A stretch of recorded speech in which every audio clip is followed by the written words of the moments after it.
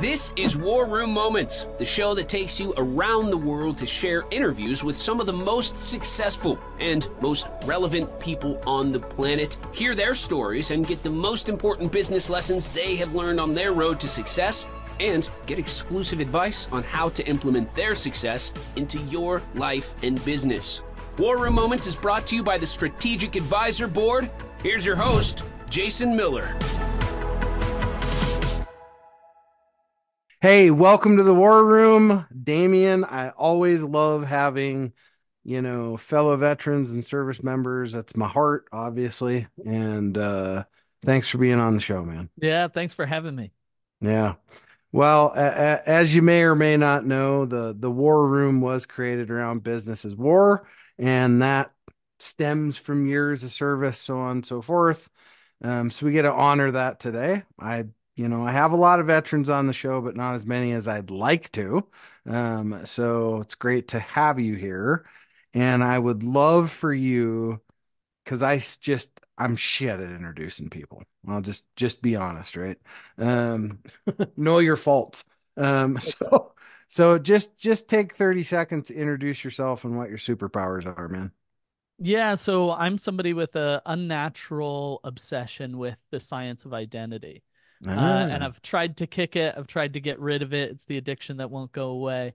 Uh, and you know, over a over a couple of gin and tonics, you can get me talking about where it comes from and why that happened. But ultimately, I love to apply that out in the business world, and I've done it through a number of different vehicles and businesses over the years. Um, and I really operate at the intersection of where business meets people. Uh, and I think we tend to imagine businesses as mechanisms, and I like to help us remember it's actually people that we're dealing with on the other side and and how to Mm, do that. yeah. I always say meet people where they are, not where you That's want right. them to go. Sure, yeah, Right.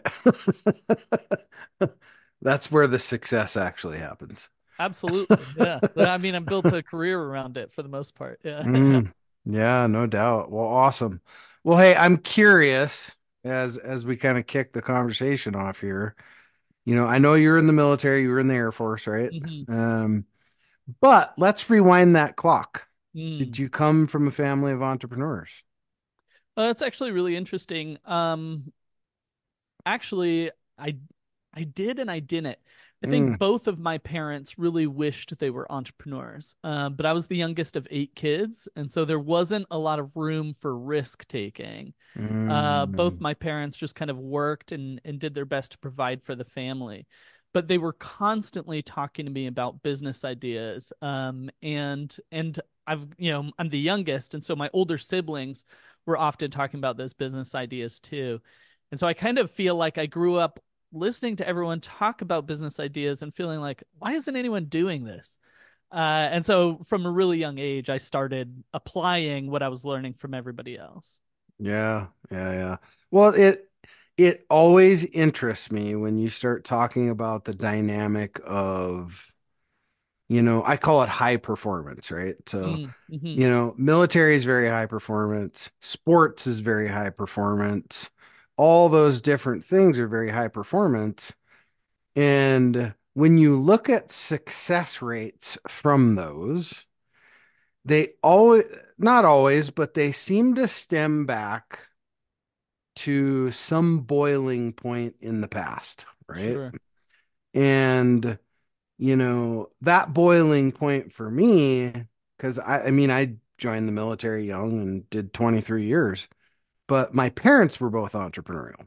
Mm, My dad ran a farm and my mom had two or three businesses in town. I mean, I grew up in a small town of like 500 people. So, um, my mom, I always call her the first blockbuster. yeah. and uh you know so I I came in the military and I just had the bug is what it was Mm. and then it was real estate. Everybody was doing real estate but so I, I'm just curious what was that bug? I mean was there a bug there for you too? Yeah, um I think part of it comes from need, right? So being the youngest of eight kids, like we really mm, didn't have a lot. And so all my siblings were kind of we kind of were more of like a wolf pack. It was like everybody was on their own. And uh we all needed something to kind of uh get by and and get our piece of the pie. And and so my you know my I've got three brothers and then four sisters and then me. And so my three brothers, they're 9, 10, and 11 years older than me. And I grew up in Silicon Valley. So that also part of that story. Um, but my brothers were, you know, in the thick of it in their, you know, late teens, early 20s during the dot com boom, working with other companies and friends starting businesses. And they were like, hey, my brother can can get us design work for cheap or free. And so that's kind of like how that how that began for me uh, is doing design work for my siblings' friends, but also just in general, I, I could tell you stories of like selling, you know, arbitrage, getting arbitrage on on beef jerky in at school in in second and third grade, right? Sure. Running running a, a poker poker uh, game with my friends in fourth grade and uh, I somehow figured out real fast, like, oh, nobody knows what they're doing. Uh, but my brothers had taught me to play, so I knew what I was doing, and so I knew how to how to kind of uh, have everybody have fun. They were basically paying to play, um, and so there was always a mindset around how can I make money. Um, and then that kind of fell into it uh, as I hit my teens during the dot com boom. Yeah, I mean it's a theme, man. It is a theme of not i mean it's not like it's a blanket statement but a lot of people that run successful not hobby shit i'm talking people that run like successful companies today. They were your lemonade stand runners. They were you know upcharging the chocolate bars that you sold as a kid. Totally. Taking 25 cents extra off the eh, back end of it right I did that. Absolutely. Yeah. you know, or the the popcorn sales or whatever, right? But you start you look at like a lot of successful business owners, you know, I mean, there's some roots into a lot of that stuff. And you know, I always say I I personally think that the human race was designed to be entrepreneurial. Sure. I mean, think about it. We're spoiled now. We don't have to go hunt. We go to a grocery store, right? But let's go back to caveman brain and you had to hunt for food, all those things. It didn't get much more entrepreneurial than that, right? And then life got easier and easier and easier and we fell into new things and that's a whole nother episode but, but... yeah you know i think I, I agree with you i think ultimately this this mindset of of acquiring resources and and uh is really natural and certainly um you know that's that's why i think you find it in a lot of stories where where there was some kind of need um is because mm-hmm. that's where we find that that desire that that push that's natural in us to go acquire resources. When they're just handed to you we lose that kind of natural piece of us. And and a lot of people find another way to get back in touch with it. Uh, but it was certainly need need lit that fire for me. And it was there was something in what you said that made me realize something I'd never thought about my story before is that and now I work largely in brand. Um and I, I kind of started in design and that grew into marketing and then and then eventually I recognized what I was doing all along was really focused on brand. Mm-hmm. And as I was doing that, like arbitrage on beef jerky in like second grade, at first I was trying to undercut like what you could get it from like the school store or from the 7-Eleven and and I was charging less. Mm. And that was fine. And then I realized that uh, when I could tell a good story about it, people would buy it and buy more of it and and and really quickly I realized like, oh, not only will they buy more of it, but I can charge more. And so pretty quickly I was charging more than, you know, you could get at 7-Eleven. Um, and it was really just about the story of why of or how I came by it or how I was why I was selling it. Um, and and doing that to my friends and and ultimately, you know, was able to get a lot of their their lunch money out of their pockets to the uh, on the basis of a good story, which is it's yeah. funny. I had never thought about that. I had I didn't remember that until uh, until you you were saying something, and and I realized like, oh, actually, that's that's how I ended up. It's not that different than what I'm doing now. Uh, I kind of found something that worked for me and and kept at it. Yeah, yeah. Well, I, I don't know if you're familiar with cone communication studies or not, but but and I don't know when this was, what year it was, but um, it was a study on millennial moms, right? Mm. And it was a study that millennial moms will brand jump if there's a cause attached to it. hmm So let's say puppy chow, right? Puppy chow doesn't, I don't know if they do or not, disclosure, right? Sure. but puppy chow doesn't have a, say, puppy chow doesn't have a, a cause behind it, right? But the other brand does, and they support puppies in Afghanistan, right? hmm The millennial mom will jump from puppy chow to the other brand only because it has a cause attached to it. Sure. And what's great about that is that's actually like the tip of the iceberg on Mm. things like this. Yeah. One of the things that one way that we could can phrase that is to say that people uh and it's it's most concentrated in millennial moms, so it's easier to see. Mhm. but they'll they'll show a preference for a product or a company based on whether or not it aligns with their values, right? Mhm. and Sure. and so what we call that is like an ethical appeal and and the most obvious kind of the tip of the iceberg is something that is like we feel like is ethically good but also like an, an ethical appeal can be anything that just aligns with who you know yourself to be. So as you and i both know there's things in the military identity that isn't necessarily good right? Black rifle coffee i think like capitalized on this really well right? They took things that outsiders might view as negative, but it's so tied to the identity Right. that then people prefer that brand. And so these are like really obvious ways to do it. And what I love to do is say, ooh, if millennial moms will will switch a brand for a cause or or veterans will buy Black Rifle coffee because it aligns with their identity. What are like the really subtle ways of being able to do the same thing? And that's kind of Mm. the the sandbox that I play in. Yeah. So what's your thoughts on that? I mean, what is if if there were you know a little piece of that that you've seen throughout the market that's uh kind of across niches, right? It's it's agnostic Mhm. in that, you know, what are the things that you see there that are brand agnostic?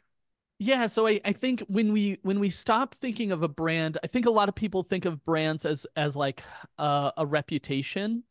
Like when Mhm. when they think about brands they're buying, they think about the identity. Does this resonate with me? Is it aligned with who I am? Do I like that? When they think about their own brand, they think about a reputation. And what we end up doing in that is we like create what what Carl Jung called the mask, right? We we create this false self that also like in reality is really hard to connect to. Whether we're talking about sales or just creating a relationship, which most sales are a byproduct of a relationship, right? Mhm. That that mask, that fake self gets in the way of the relationship. And so what I think what I try to help people do is find that authentic identity. Find what's real there. And then find the the, the appropriate way to get people to connect to that. And so, um, like, ultimately, a brand is a form of collective identity. And so, hmm. when you think about what it means to be American, and the, like, there's there's core ideas and beliefs that that you have, and there are core ideas and beliefs that are common to most people. And then there's symbols of that, right? So you have like the flag, and you have Uncle Sam. You have all these different assets that tr- start to portray that. And so, when you think of a brand from that aspect, then it opens up a lot of really interesting doors. We're not just creating something that people can identify with and connect to. You're creating something that influences who they are, right? They're, uh, when I buy an Apple product, it means something to me about who I am to to to buy that, right? And that's why people pay more and, and pay more often. But I think we can in, intentionally design in any brand, like, ooh, if I think of this less like a reputation or a or a uh, a marketing stunt. If I think about this as like a community that I'm creating, a club that I'm creating, Mhm. what does it mean to be a part of this club? And then walking around with my product is is a badge that I'm a member of that club. And what does that say?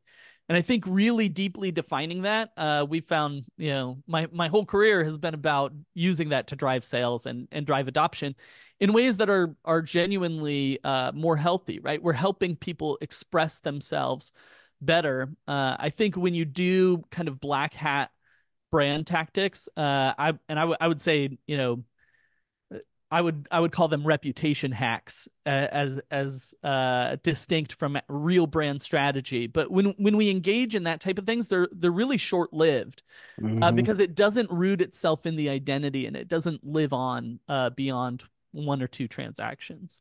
yeah, I call that the hoo-ha effect, Yeah, right? because at the end of the day, I mean, you know, all businesses do the PR things Sure. and yada yada yada. That's kind of part of it, but but when when that's all you identify with is that's what I call it. It's the hoo-ha effect, right? Mhm. It's just a bunch of, you know, you know, confetti throwing at, all the time. It's like, let's just keep throwing confetti. Eventually somebody is going to go, "Oh, well, those guys are cool." Right? right. Instead of, you know, one of my core beliefs is lead with value and lead with value for as long as it takes, right? That's Mhm. one of my core values of my companies. Um, is that Mhm. why? Because I, I don't, I don't, I don't understand this damn concept of, you know, let's be authentic. Mm. Well, holy shit. If you can't be authentic, yeah, right. I mean, you need to step back and just take a look at that because that's a conversation we shouldn't even have to have. That's right. right. That's right. No, but unfortunately, I mean, the industry, especially for the last 50 years, has told people that it's about, I, you know, I actually really dislike this idea of being customer obsessed. Right. And I Mm, think what, when, when done right, it's what you're talking about. Where like just lead with value and, Mm. and deliver value for as long as it takes. Right. Uh, the problem is when we, people mistake this idea of being customer obsessed in that be whoever people want you to be. And th- and then businesses have spent 50 years or more like just faking it being who people want them to be. And now as entrepreneurship has kind of democratized and it's more common you have lots of people that are just starting out that think oh okay well to be customer obsessed that means i just got to be whoever they want me to be. And that's where i think like i uh, 100% agree with you. If we're having the conversation of be authentic we got problems right? But i think like unfortunately the, the there there's this like false idea has been preached out there into the entrepreneurial world where people think no no no abandon yourself abandon your authenticity and be who people want you to be in order to close sales. And it's like look that doesn't work for making friends. That doesn't work for finding a wife. So what makes you think it works in creating business relationships? It doesn't. It's terrible Mm-mm. advice. The thing is is take a step back. Be your authentic self again and show up with that every day in your business. Uh, and and sales will happen. Sales will come. Yeah, yeah. I I don't know where that I, I don't get it. I don't understand it, you know, but then you you flip that coin, right? And here's the other side. I seen a post the other day on LinkedIn and they were, you know, complaining about getting sold on DMs and all this stuff Mhm. and yada yada yada, right?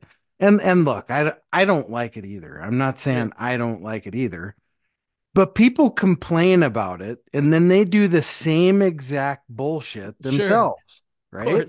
yeah and, and and instead of and I don't like the approach of a lot of these companies, but but look, that it tells you a story too, right? Sure. And that story that they're telling you is, look, I'm desperate Mhm. and I'm looking to close and I'm going to just blanket everybody on any channel I can and Yep. some sucker's going to say yes, sure right? Because math never lies. A percentage of people will go, "Oh, that sounds like a great idea," right? yeah Um, so you can't hate on them for it either. sure Um, and I You don't like it, and it's not my approach. But That's right. I mean, there's one. It's one way of doing things, and I think uh, for me, I'm lazy, and so the economics on that are terrible. Right. I, I don't want to reach out to 2,000 people to get the one maybe and 15 people, you know, telling me off. Right. I, I'd rather just spend the the the time developing a relationship with five people that really get to know me and and they're like, man, I love what you're doing, and how can we work together? And that's just a much more satisfying way to me to do business. it's it's a proven thing. I Yeah. mean, when you, you know, that that's why I, you know, I'm kind of Zoom uh, averse nowadays, and I love to just if, if somebody calls me and says, "Look, you know, I would love to work with you. Can we hop on?" To, no, but I'll hop on a plane. yeah, sure, right. and I'll come out and see you, right? Exactly. Yeah. And fly out there, see them, spend a couple days with them, get into the weeds with them a little bit, and now you've won a lifetime customer, right? Totally. And and there's so much value in that. And Mo- most of my customers are pretty good friends too, and it, it it's Yeah. hard not to become that way. right. Um, and I did lots of business, you know, when I was younger. That that I mean, a lot of these things I've I've been in the business for a long time, right? So, so I I learned these things through experience, and uh, even when uh, I found somebody will pay more money, right? Enterprise clients pay a lot more money. Mhm. Um, but I also recognize that a lot of them are are further removed from the problem. And so because it they don't care about the problem as much, they like they don't care about you solving it as much. Whereas I really like working with business owners, founders, entrepreneurs because when I'm solving a problem for them, it means something to them. And so we get better Right. answers. We get, you know, the brainstorming is like more creative because it actually means something to solve this. And so over time, we were making we were we were closing deals that were higher ticket, but we were Mhm. keeping less of the money because it was like such a grind to get it done because nobody really cared about the problem. And so it's like, you know, one person throws in their two cents here, and then a week later, the big boss changes the direction completely because nobody really cares about what's going on, right? Whereas Yeah. when you're working with founders, entrepreneurs, business owners, like everybody cares, including myself and my team, about, you know, getting led down range and being as effective as possible, right? Yeah, yeah, yeah. It's not just a tax write-off. That's right. Yeah. Which we all know. Which we all know that's the big companies, right? That's like- right. I mean, look at DE and I. I mean, we could go on. That's a whole nother segment too. But, Sure, yeah. but now look at that. That's like everybody's trying to take that behind the barn and put a bullet in its head now. Right. So it's like, but why did we go there to begin with? Right. Because it was a fad thing. Right. Yeah, You know? right. Yeah. That's just how it works, I guess. But you know, but you and I didn't need to deal with it. Right. I I could have. I mean, honestly, I could have gave two shits less about D and I, not for the not for the reason of what it was for, but for the reason of what it became. Yeah, well, you know, You know? and it's great that we tried to tried to solve a solution in a particular way, and I think pretty quickly people saw like, oh, this is this is actually not the best way to solve the the, the my first experience with it actually um was was at uh, a company that I used to work for and they brought somebody in and hired somebody over it and uh and then completely disempowered that person. They were basically like a token hire and then had like white dudes making all the decisions for that. And it was like, well, this is like a, a- total mistake, right? It's it's missing the point anyway. And and yeah, I don't have a, a DEI department. I just make sure that in my thinking, I like diverse modes of thought, right? I especially what I do is very creative. I can't have uh over over any metric. I can't have a bunch of people that just think the same uh, because otherwise, you know, we're coming up with very narrow ideas. Uh, I need a broad Right. spectrum of ideas, and that comes from working with people from a broad spectrum of backgrounds and That's right. and uh, cultures and influences, and and I love that. I think it makes our team better. Kind of sounds like the military. That's right. Yeah, no kidding. Right? yeah. well, that's one of the things I loved the most about the military is really quickly I was like best friends with people I would not have ever spoken to uh, without joining the Yeah. military. Like the pe- people who I thought I had, you know, ingrained beliefs and ideas and and even you know dislikes for, and then and then it's like you're just hanging with them, working with them every day, and you're like, oh, actually, this guy's really cool. Yeah, and weird people. I mean, I Yeah, remember yeah, when I first when I first went into the military, I we had this he drove a damn hearse to work every day. In his Sure. before he joined the mil it was a hearse and on the back window it had a big alien head. Nice. Yeah, yeah. and he drove this thing to work every day and he was an undertaker before he joined the military, right? Oh, that's so wild. it's like I mean, I guess there wasn't enough money in uh, undertaken. Yeah. but but just the just weird stuff, right? Sure. And I had another guy that came in. He used to freaking steal gas out of cars and grew up in the Bronx and Mm, you know, just total opposite of where I came from, right? Sure. Yeah. But you found a common bond, That's right. you Yeah. And that was that's the cool thing about the military. But Oh, I dig- yeah. I digress. well, hey, I, I'm really curious on, you know, what are some if if you had to if you had to give a young founder out there that's listening to this when it publishes, you know, two or three pieces of key advice, what what would you tell them? Yeah, so I think um measure twice and cut once, right? And Mm. and I think there's a lot of especially in the last 10, 15 years, um a lot of people really have romanticized this idea of move fast and break things. Mm. And uh I'm actually a big fan of slow is smooth and smooth is fast. Um and so I think look, don't measure 15 times and never cut, right? Like measure twice and cut once, right? Take the time to get things right the first time and then move through.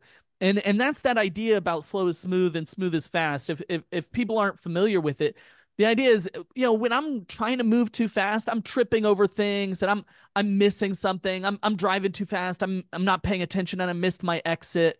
Now I'm going to have to loop back around. It's going to take me even longer than it was going in the first place. If I'm actually operating smoothly, I've got my head my wits about me, my head on a swivel, I'm looking around. I'm not going to miss that exit. And so Mhm. move just uh fast enough that you can still move smoothly and that way you'll get things done right in the first place. Um, I th- I, th- I think there's also like an over focus in in kind of tactics, uh, in the startup world, and and because of that, there's kind of this belief that strategy doesn't matter. Um, or I actually, to be honest with you, I see a lot of kind of like these micro influencers saying stuff like, "What is strategy? Strategy is bullshit," and it's like, it's not bullshit. Like you know, uh, there, there's great there's a great uh, and anybody in the military is like what are you talking about? Right? Like you Yeah. the military does a great job of showing you the importance of strategy and tactics right? And you Mhm. got to have both. Um, eisenhower said uh, planning it, plans are useless but planning is essential right? And i think that's like sums it my view of strategy up in the whole bit that like rarely is the plan that valuable because everything's gonna get screwed up the moment you kind of set things in action. But the act of planning makes you more aware of all the different pieces all the different variables in the environment and and create kind of mental models for what i could do if something pops up. So creating some kind of strategy around what you're trying to do and getting really clear on that and then allowing that to inform tactics because unfortunately i see a lot of young founders uh, and by young i mean uh, young in their entrepreneurial journey right they could be Mhm. 60 um, and if they're a new founder I'm, that's who i'm talking about what they do is is they're just let me execute execute execute put out this fire put out that fire but nothing is connected and so it's Mhm. just wildly inefficient and so i'm trying to actually create tools at least from the lens that i work through uh, on the brand side to help um, founders and and and entrepreneurs be more strategic more coordinated in their action without kind of overthinking it like you don't need some broad battle plan if you're just trying to like sell a widget tomorrow right Yeah, yeah, yeah. No, and yeah, I, I think the key the key takeaway from that is, you know, no matter what, when you're starting, yes, do you have to focus on selling your product? Absolutely. But I t- I coined this term back during, you know, the C word. I hate saying the word. Um, back in that time was stop worrying about these broad pivots, right? Mm, Let's micro maneuver. Let's do micro pivoting, right? 100% And that way you can do little micro failures too, that's right right? And you can micro fail fast and input str- strategy really fast that way that's right right? Because at that time, and quite honestly, anytime, right? We don't always know what the market wants.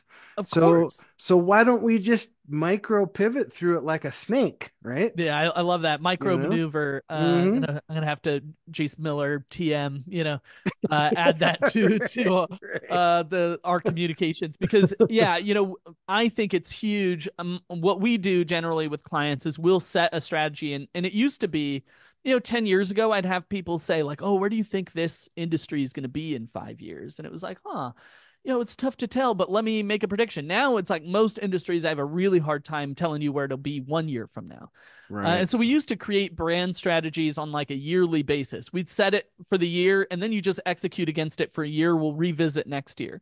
And now it's like that does not work anymore. We work with our clients usually on a month to month basis and we're looking at okay, what did we do last week? What's or what did we do last month? What's changed over the course of the last month? Like what is getting us towards our goals? And this is why strategy is so important is that you know making sure that those tactics are are you know each vehicle that you put your tactics into it's aligned it's oriented towards the goals that you're trying to achieve. And is it going to get you there?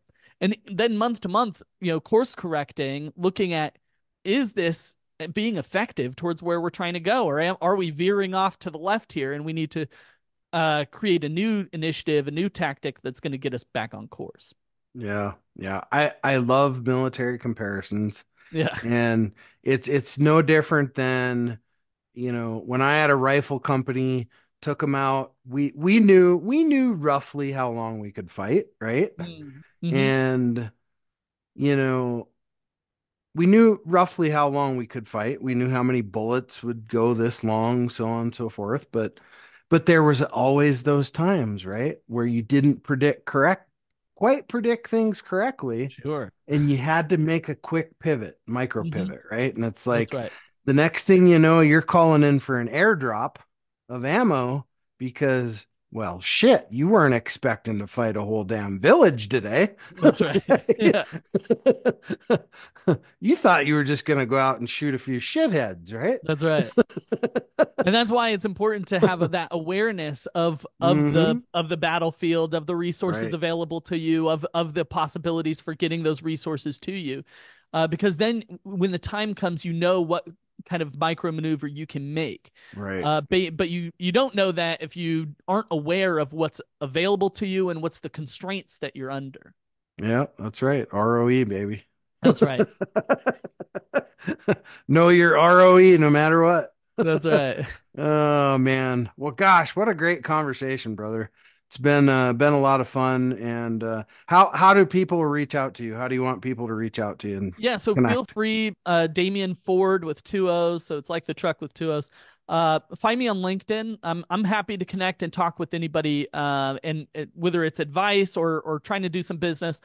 And uh, Prismonde.com. So it's P R I S M O N D E. Prism O N D E. Uh, Prismonde.com. Um, ultimately, we've taken the the principles of information operations and applied it to brand strategy. And so you you know you talk about a, a lot of um, you know businesses war. Um, what's your business doing on the information landscape? Uh, Mm, that's what that's what we're doing with our business. So yeah, that's awesome, man. Well, I love to, sh- to close out this show with a little bit of a thought-provoking question. Um, I don't do a lot of Q&A in the show, but this is one that I love to do um, because it, it lets us in your brain a little bit. And, and that is, you know, if you could have invited anybody here today, dead or alive, doesn't matter, any point in time in history, who would have you loved to have here and why them? Hmm. Um. Okay. So that's that's very hard to narrow it down. Uh. honestly, probably my answer I think would be Edward Bernays. So Edward Bernays is is Freud's nephew. Hmm. He was seen as the the godfather of of PR. Um, he kind of created the industry, but most people don't understand like where that came from. Was he was actually like our effectively our minister of propaganda during World War II. Mm. And so he really understood his uncle's understanding of psychology. but then like rather than like you know it being this like high-minded stuff in your mind he he figured out uh, directly how to apply this stuff and make it effective and and not only helped us win the war but then gave birth to an entire industry so i'd love to pick his brain Yeah, yeah, that's awesome. That's a new one. yeah yeah i have a sense you probably haven't gotten that one before no. I, I I've gotten a lot of weird ones, but uh a lot of bernays a lot of Yeah. good ones too, for Yeah. sure. Well, well, hey, awesome, man. Thank thanks for stopping by today. I know we we anytime I have a good conversation, it always blows over time. Sure. Um, and uh but yeah, I always say it's, you know, we all have those same 168 every week.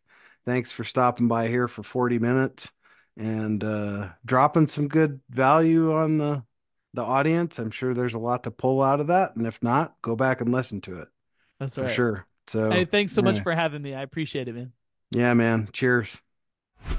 Thanks for listening to War Room Moments with your host, Jason Miller. Please leave your feedback and visit strategicadvisorboard.com to get the latest and greatest business advisement on the planet. Follow us on social media for updates, and we'll see you on the next episode.